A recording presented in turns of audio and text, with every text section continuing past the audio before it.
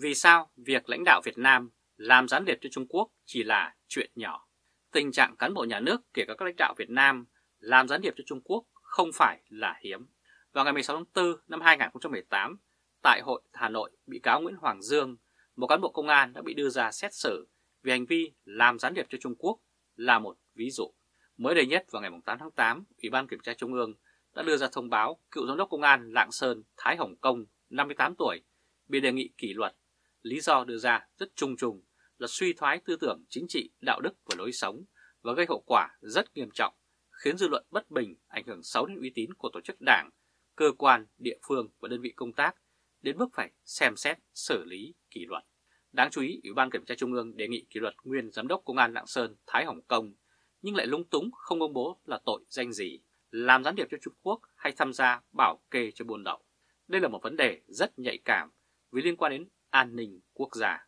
Thông tin kể trên hoàn toàn trùng khớp với tin mà Thời báo D đưa ra cách đây hơn 3 tháng về vụ Ban Giám đốc Công an tỉnh Lạng Sơn bị bắt. Theo đó, một loạt lãnh đạo Công an tỉnh Lạng Sơn, từ giám đốc cho đến các phó giám đốc và các trưởng phòng cùng bị cáo buộc tội làm gián điệp cho Trung Quốc. Vào tháng 5 năm 2024, mạng xã hội đã rộ lên tin đồn kể trên. Tiếp đó, Bộ Công an ra thông báo sử dụng bổ sung nhân sự điều hành điều ông Vũ Như Hà là Phó Cục trưởng C03 về làm Giám đốc Công an Lạng Sơn thay cho ông Công nhưng không cho biết lý do. Theo Thời báo Tuổi Trẻ, lãnh đạo tỉnh Lạng Sơn công bố lý do chung chung là ông Thái Hồng Công có hành vi vi phạm hình sự. Công luận nhận định chuyện làm gián điệp với Trung Quốc của các cán bộ công an nói riêng hay của lãnh đạo cấp cao Việt Nam nói chung không phải là hiếm. Không phải ngẫu nhiên, đầu năm 2017, trong một clip lan truyền trên mạng xã hội, Thiếu tướng Trương Giang Long,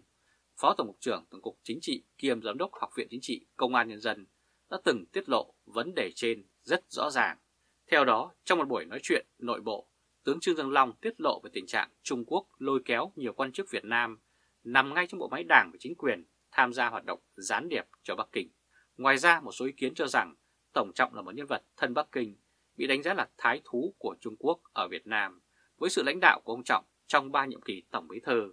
Việt Nam thực sự trở thành một bản sao của Trung Quốc. Cụ thể, ông Trọng cóp nhặt nguyên bản từ Chủ tịch Trung Quốc Tập Cận Bình từ chuyện đà hổ diệt ruồi cho đến nhốt quyền lực vào cái lòng. Hơn nữa, Tổng Trọng còn chủ trương đưa Việt Nam đi theo kế hoạch vành đai và con đường của Trung Quốc để cùng Trung Quốc xây dựng cái gọi là cộng đồng chia sẻ tương lai giữa Việt Nam và Trung Quốc. Theo học giả Trương Nhân Tuấn chia sẻ, tư tưởng của ông Trọng nếu có là tư tưởng trừ hậu. Chuyện ông Trọng đổ lệ khi đọc diễn văn trước mặt ông Tập trong chuyến thăm Hà Nội vào tháng 12 năm 2024 đã khiến người ta hoài nghi. Điều này được chứng minh qua tấm hình bà Ngô Thị Mận, vợ ông Trọng, phù phục trước sứ giả Trung Quốc Vương Hữu Ninh trong đám tang của Tổng Trọng. Ông Trương Nhân Tuấn nhận xét chỉ có chư hầu mới phổ phục trước thiên triều. Đó là lý do vì sao trên mạng xã hội có nhiều người cảm thán Tổng Trọng, người đứng đầu hệ thống chính trị của Đảng và Nhà nước Việt Nam, lúc sinh thời còn được mệnh danh là Thái Thú, thì chuyện các cán bộ cấp cao của Việt Nam làm gián điệp cho Trung Quốc cũng chỉ là chuyện rất nhỏ. Quý vị và các bạn vừa theo dõi chương trình truyền hình trực tiếp của Thời báo chấm với bản tin Vì sao việc lãnh đạo Việt Nam làm gián điệp cho Trung Quốc chỉ là chuyện nhỏ. Việc kỷ luật Lê Minh Khái có liên quan gì đến bà Trương Thị Mai hay không? Việc Tô Lâm cho trảm ngay bốn lãnh đạo cấp cao sau khi vừa nhận chức Tổng Bí Thư được cho là giết gà, dọa khỉ, đồng thời cho thấy tình trạng đấu đá ở thượng tầng Đảng Cộng sản Việt Nam vẫn còn đang tiếp diễn trong thời gian tới. Đáng chú ý, trong bốn nhân vật lãnh đạo bị xử lý đợt này có Phó Thủ tướng Lê Minh Khái, cựu Tổng Thanh tra Chính phủ, cựu Tổng Kiểm toán Nhà nước. Ông Khái đang giữ các chức vụ như Bí thư Trung ương Đảng, Bí thư Ban Cán sự Đảng trước khi bị kỷ luật. Thông cáo của kỳ họp lần thứ 45 Ủy ban Kiểm tra Trung ương vào ngày 8 tháng 8 kết luận Phó Thủ tướng Lê Minh Khái có vi phạm trong dự án khu đô thị Đại Ninh, tỉnh Lâm Đồng. Đồng thời, cơ quan này đã đề nghị Bộ Chính trị, Ban Bí thư kỷ luật ông Khái do có liên quan đến đất đai, nhận hối lộ và lợi dụng chức vụ quyền hạn khi thi hành công vụ. Theo giới thảo tin, ông Khái đã nhận khoảng 2 triệu đô la của bà Trương Mỹ Lan của dự án khu đô thị Đại Ninh. Trước đó vào tháng 4 năm 2024, vụ việc tại đại dự án Đại Ninh đã khiến cho bí thư tỉnh ủy Lâm Đồng Trần Đức Quận, chủ tịch Ủy ban nhân dân tỉnh Lâm Đồng Trần Văn Hiệp và cựu bộ trưởng chủ nhiệm văn phòng chính phủ Mai Tiến Dũng bị bắt giam và khởi tố. Vẫn theo giới thảo tin, một trong những lý do khiến Tô Lâm cho xử lý Phó Thủ tướng Khái ngay trong ngày đầu nhậm chức có liên quan đến bà Trương Thị Mai, cựu thường trực Ban Bí thư kiêm trưởng ban tổ chức Trung ương, người đã bị xử lý kỷ luật tại Hội nghị Trung ương lần thứ 9 khóa 13. Theo đó, bà Mai đã nhiều lần thúc ép và đe dọa các lãnh đạo tỉnh Lâm Đồng, buộc họ phải tiếp tay cho đại gia Nguyễn Cao Trí và bà trùm Trương Mỹ Lan. Đổi lại, bà Trương Thị Mai được ông Trần Đức Quận, bí thư tỉnh ủy Lâm Đồng biếu một khu biệt thự khủng ở Sài Gòn với giá khoảng 2 triệu đô la từ tiền hối lộ của tập đoàn Vạn Thịnh Phát. Hơn thế nữa, theo giới thạo tin, bà Mai được cho là bà trùm của Tổng chỉ huy bộ máy chính trị tại tỉnh Lâm Đồng. Bà Trương Thị Mai từng được đánh giá là sẽ tiếp tục đảm đương các chức chính trách lớn sau khi Chủ tịch nước Võ Văn Thưởng và Chủ tịch Quốc hội Vương Đình Huệ bị mất chức. Trong khi đó, truyền thông quốc tế cho rằng bà Trương Thị Mai viết đơn xin nghỉ vì đã quá chăn ngán và không chịu nổi áp lực của cuộc đấu đá nội bộ giữa các đồng chí của mình, đặc biệt là sự lộng hành của Bộ trưởng Bộ Công an Tô Lâm. Theo đài BBC chia sẻ, thì dù Tổng Trọng muốn giữ bà lại nhưng nhận được câu trả lời rằng tôi không được khỏe và tôi đã mỏi mệt với trò chơi quyền lực này rồi. Đó là lý do trước kỳ họp thứ bảy của Hội khóa 15 vào ngày 20 tháng 5 theo kế hoạch có nội dung bầu hai chức danh Chủ tịch nước và Chủ tịch Quốc hội đã bị bỏ trống, bà Mai dứt khoát bảo lưu ý kiến nếu bị ép vào ghế Chủ tịch Quốc hội thì sẽ xin nghỉ ngay lập tức. Theo giới thiệu tin, bà Trương Thị Mai sợ ông Tô Lâm phật ý nổi sung và sẽ ra tay với bà như đã từng xử lý Vương Đình Huệ. Cuối cùng thì bà Mai cũng chạy trời không khỏi nắng tại hội nghị Trung ương 9 vào ngày 16 tháng 5. Ban chấp hành Trung ương Đảng khóa 13 đã xem xét cho thôi giữ các chức vụ nghỉ công tác đối với bà Trương Thị Mai, Ủy viên Bộ Chính trị, Ủy viên Ban chấp hành Trung ương Đảng khóa 13. Theo Ban chấp hành Trung ương đánh giá, bà Trương Thị Mai là cán bộ lãnh đạo cấp cao của Đảng và Nhà nước, được phân công giữ nhiều chức vụ lãnh đạo quan trọng của Đảng. Tuy nhiên, theo báo cáo của Ủy ban Kiểm tra Trung ương, trong thời gian giữ cương vị Ủy viên Bộ Chính trị, Bí thư Trung ương Đảng, trưởng Ban Dân vận Trung ương, bà Mai đã có một số vi phạm khuyết điểm làm ảnh hưởng đến uy tín của Đảng và cá nhân. Theo thông báo của Đảng thì nhận thức rõ trách nhiệm trước Đảng và nhân dân, bà Trương Thị Mai đã có đơn xin thôi giữ các chức vụ và nghỉ công tác.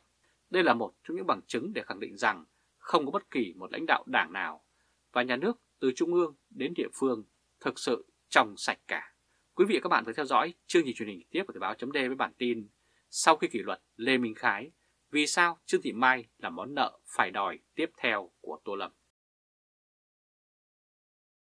Vì sao Tô Lâm cứ lần nữa chưa sang thăm Trung Quốc? Lịch sử cận đại Việt Nam cho thấy Trung Quốc, nước láng giềng phương Bắc, luôn là cái đôi thậm chí là các thế lực nuôi dưỡng cho các tổ chức chính trị tại Việt Nam như Việt Quốc, Việt Cách, Việt Nam Quốc dân Đảng và kể cả Đảng Cộng sản.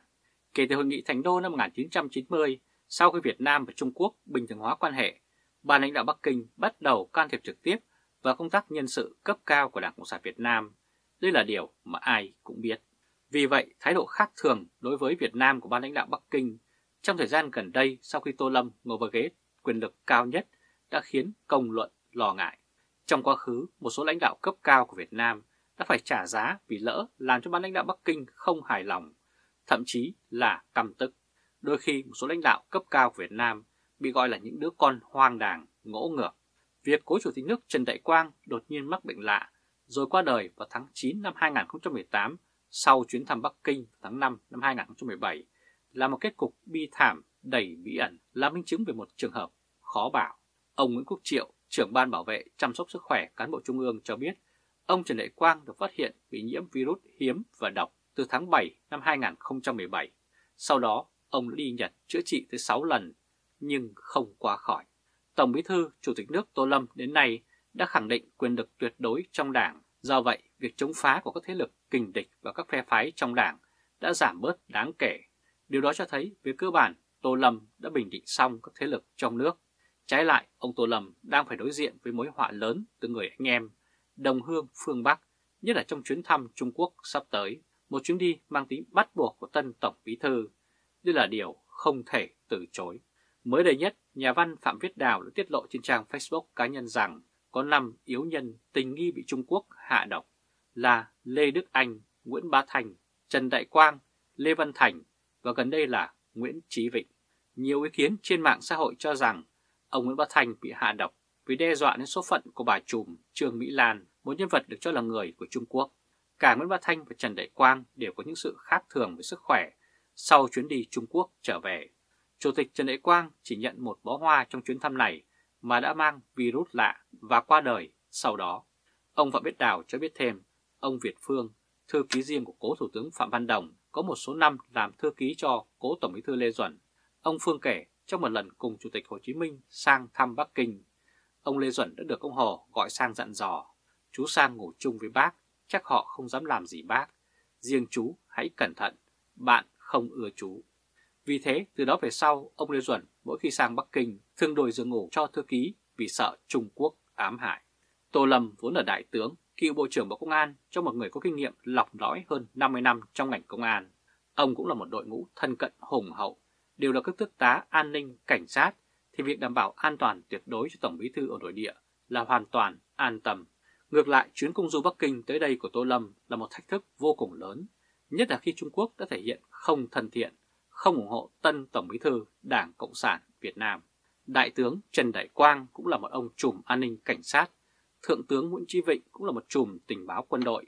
Vậy mà cả hai dễ dàng bị mắc bệnh lạ sau khi thăm Trung Quốc. Thưa hỏi, sinh mệnh của Tô Lâm sẽ ra sao sau chuyến thăm sắp tới? Phải chăng đó là lý do khiến Tổng Bí thư Chủ tịch Tô Lâm vẫn còn lần nữa chưa sang thăm Bắc Kinh? Quý vị và các bạn phải theo dõi chương trình truyền hình trực tiếp của Thời báo chấm với bản tin Vì sao Tô Lâm cứ lần nữa chưa sang thăm Trung Quốc? Quý vị và các bạn hãy chia sẻ video này cho nhiều người biết và bấm nút theo dõi YouTube và Facebook của Thời báo chấm để luôn được cập nhật những bản tin mới nhất, nhanh nhất và trung thực nhất. Từ Berlin, Cộng hòa Liên bang Đức chào các bạn và hẹn gặp lại các bạn ở bản tin lần tới. Trung Khoa, Thời báo, chấm